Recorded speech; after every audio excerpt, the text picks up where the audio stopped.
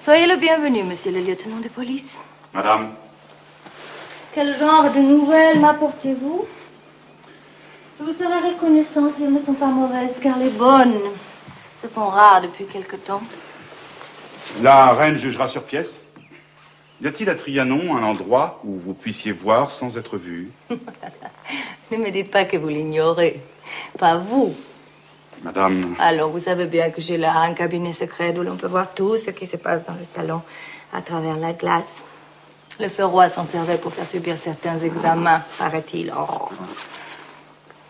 Que désirez-vous? J'ai une personne que je voudrais vous montrer. À vous seul. Eh bien, passons dans le cabinet secret.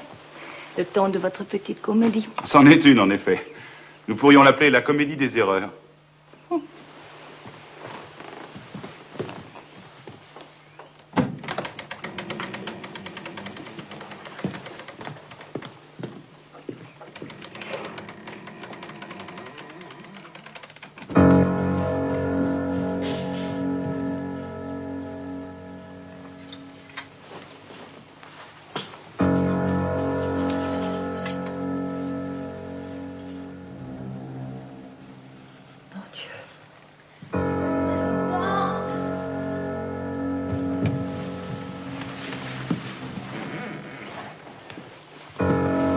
Que dites-vous de cette ressemblance Il faut que le roi soit informé immédiatement. Et que Monsieur de Provence soit mis en présence de cette personne, n'est-ce pas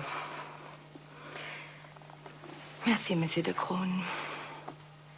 Et Qu'allez-vous faire d'elle à présent Oh, mademoiselle Oliva n'est qu'une comparse. Nous tenons la comtesse de la mode Valois, qui est la tête du complot. Folle que j'ai été Dieu sait pourtant si le roi m'a mise en garde contre elle, et aussi mademoiselle de Tavernet.